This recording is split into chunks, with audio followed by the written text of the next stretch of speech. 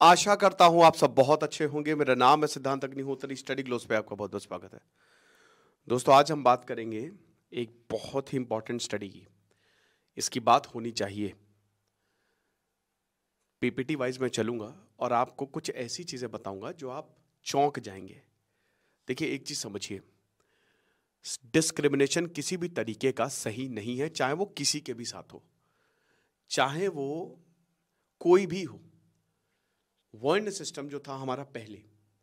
ब्राह्मण कौन होते हैं? जो ज्ञानी होते हैं, जो नॉलेजेबल होते हैं। उसका कास्ट से कोई लेना ही देना नहीं है।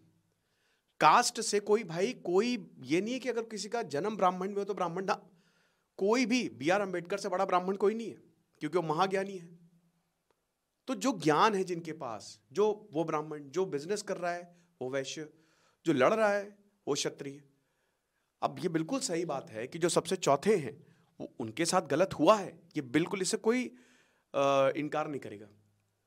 लेकिन हमको आज पे चलना है। हमको आज ये देखना है कि हर एक इंसान को इक्वल अपॉर्चुनिटी मिले। लेकिन अगर इक्वल और इक्वल अपॉर्चुनिटी के नाम पे कुछ भी किया जाए तो वो भी सही नहीं है।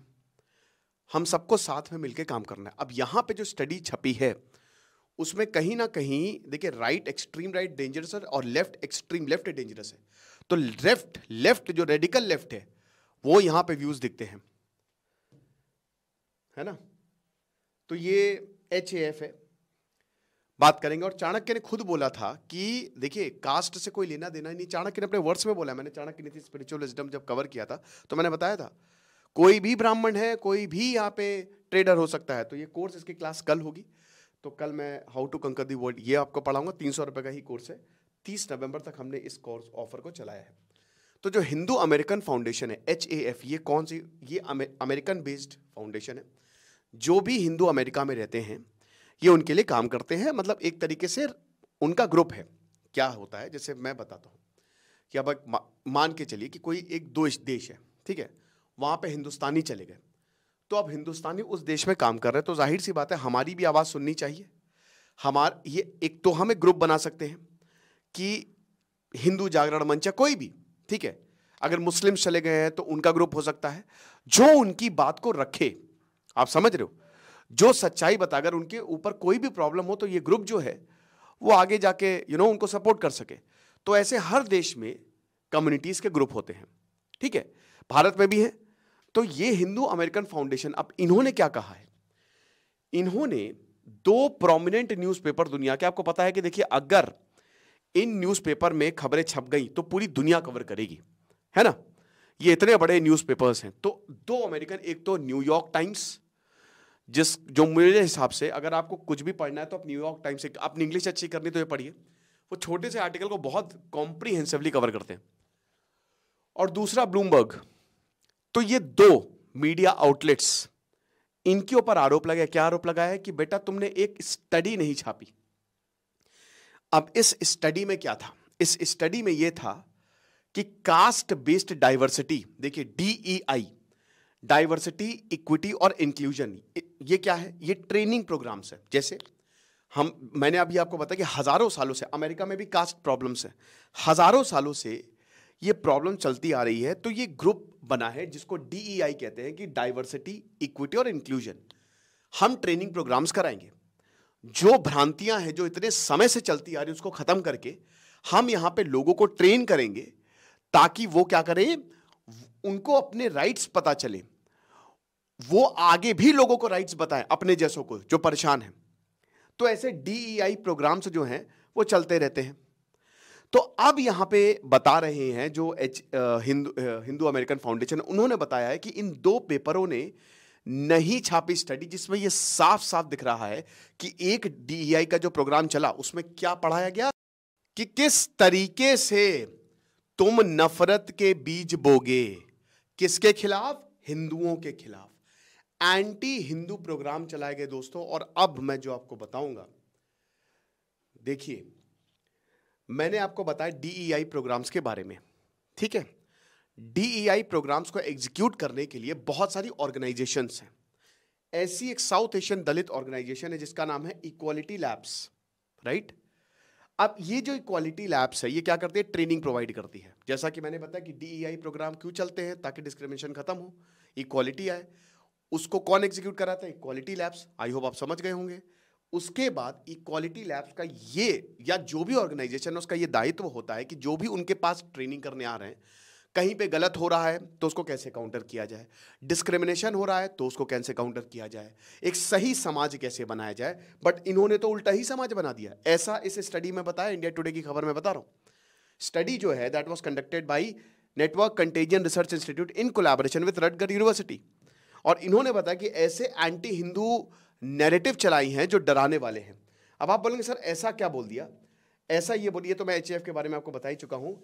इन्होंने ये बोला पहले बात तो एच ने ये ट्वीट किया, जो चिन्मय कृष्णदास के साथ हुआ है। आपको पता है, चिन्मय कृष्णदास के वकील को भी उनके ऊपर हमला हुआ, शायद मार भी दिया गया है। ये जो हुआ है बांग्लादेश में, ये किस चीज़ का नतीजा है? ये नफरत का नतीजा है। आपको पता है, नफरत अब फैलाओगे तो लोग कुछ भी करने के लिए सही के बिना पे, सही को कह के लोग मार काट देंगे कि नहीं, ये सही है। ये तो डिस्क्रिमिनेशन है तो क्या किसी को भी उठा के मार दोगे? है ना? तो अब ये देखिए, बताया गया है, अरे यार, आगे चल, कि हिंदूज जो ब्राह्मण्स हैं they are actually parasites Brahmins are virus ये इस तरीके से, ये जो आप देख रहे हो, कि 35.4 percent Brahmins they are parasites Brahmin जो है, वो वायरस है. ब्राह्मण जो है, वो डेविल पर्सोनिफाइड है. ये बताया जा रहा है इक्वालिटी रैप जो है, वो ट्रेनिंग दे रही है हिंदू एचएएफ का, ये आरोप है कि जो जीव है वर्ड यहूदी है that was replaced with Brahmin. ठीक है equality lab training group were more likely to call anyone identifies as Brahmin, कोई भी ब्राह्मण है। तो दैट इज़ पैरासाइट या फिर वायरस या फिर devil personified so the evidence is clear कि ये कास्ट को कॉम्बैट नहीं कर रहे हैं, ये डिस्क्रिमिनेशन नहीं कर बल्कि ये प्यूनिटिव रिट्रीब्यूशन कर रहे हैं। ये खतरनाक लेवल पे नफरत फैला रहे हैं। आप समझ रहे तो यही एच ए एफ़ ने ये, एक तो इन लोगों को, जो इन्होंने स्टडी कंडक्ट की, ठीक है, जो डटगर यूनिवर्सिटी के थे, सब आप देख ही सकते हैं, इनको इनको बहुत ज़्यादा तारीफ़ की। और उसके बाद ये बोला कि यार, क्यों नहीं छापी? आखिरी वक्त पे ये जो आर्टिकल है ब्लूमबर्ग का, ये जो न्यूयॉर्क टाइम्स में छपने वाला था, इसको हटा दिया। तो ये क्रिटिसाइज किया है कि भैया, छापिए। साउथ एशियन ऑर्गेनाइजेशन है, आप उन लोगों के लिए काम करते हो जो पिछड़े हैं, लेकिन आप काम, आप डिस्क्रिमिनेशन को हटा नहीं रहे हो। बता रहे कि तीस परसेंट से बढ़ जा रहा है। ये जिस तरीके से काम कर रहे हैं, थर्टी परसेंट इंक्रीज ये सिचुएशन को सही करने के बजाय और खराब कर दे रहे हैं। ऐसे प्रोग्राम चला चला के। आइए, और आगे देखिए, ये देखिए। अब इसमें ये वैसे 24 पेज की पीडीएफ है। पता है कि Brahmin should not be permitted to wear sacred threads on campus पहनते हैं ना? 44.4 percent student should protest the admission officer 38.6 percent admission officer should be fired 32.9 percent जो सही चीज़ है, उसमें आपको परसेंटेज कम मिलेगा। जो गलत चीज़ में परसेंटेज आपको ज़्यादा मिलेगा। राइट कि admission admission officer should be suspended for semester 31.5 percent ऐसे आप देख सकते हैं कि admission officer should be required to apologise for caste prejudice twenty कम है 26.5 परसेंट ठीक है? तो ऐसे आप ये देख लीजिएगा, इसको स्क्रीनशॉट ले लीजिएगा। ये स्टडी जो है मतलब जब ये सामने बात आई, ठीक है? तो फिर यहाँ पे फिर इन्होंने कहा कि आप कॉम्प्रिहेंसिवली कवर करिए। जो आपने अभी तक छुपाया है तो आप इसको कॉम्प्रिहेंसिवली कवर करिए। आप छुपा क्यों रहे हैं? जो है अब बहुत फोबियाज की बात होती है है ना? लेकिन यहाँ पे फोबिया को कौन देखेगा? जो हिंदुओं के साथ हो रहा है, या एंटी हिंदू हेट इस तरीके के फैलाई जा रही हैं, इसको कौन देखेगा? और इसी वजह से दोस्तों, आप देख ही सकते हो कि बहुत सारे देशों में ये प्रॉब्लम्स क्रिएट होती जा रही हैं, है ना? ये प्रॉब्लम्स यहाँ पे नफरत फैल रही है। इनफैक्ट दोस्तों, हिंसा तक हो रही है। और एच ने तो ये तक बोला कि जो न्यूयॉर्क टाइम्स है, उन्होंने बोला था कि हम पब्लिक इसको पब्लिश करेंगे। लेकिन एकदम से उन्होंने विदाउट एनीथिंग विदाउट बस कि नहीं नहीं। एब्रप्शन आ गया बोला कि नहीं, हम नहीं पब्लिश कर सकते। तो आरोप लगाया है कि भैया ये और ब्लूम सेम ब्लूमबर्ग ने भी कि ना, ये नहीं करेंगे। तो जो बायोलॉजिस्ट हैं कॉलिन राइट उन्होंने भी फिर कहा कि लताड़ा यहाँ पे सबको कि और बाकी स्टडी तो तुरंत पब्लिश हो जाती हैं। लेकिन ये इतनी क्रिटिकल स्टडी क्यों पब्लिश नहीं हो रही है? ये देखना पड़ेगा। तो वही है। देखिए, सबसे बड़ी बात यह है कि इन सब चीज़ों को ख़त्म करके एक अच्छा समाज बनाना है है ना? और नफ़रत जो भी फैला रहा है, चाहे कोई भी है, अब ऐसा थोड़ी ना है कि आप दलित के नाम पे नफरत फैलाओ। भाई, हम सबको ये समझना चाहिए कि बहुत सारे कास्ट ऐसे हैं जिनको एक्चुअल में रिजर्वेशन का फ़ायदा नहीं मिल रहा है, जिनको मिलना चाहिए। और ये सुप्रीम कोर्ट ने कोर्ट ने भी अभी बोला था कि बहुत सारी कास्ट ऐसी है जो बहुत समय से रिजर्वेशन का फ़ायदा उठाई जा रही है। तो सबसे ज़रूरी बात यह है कि हर किसी को समानता का अधिकार है, लेकिन समानता के नाम पे नफरत फैलाना सही नहीं है है ना?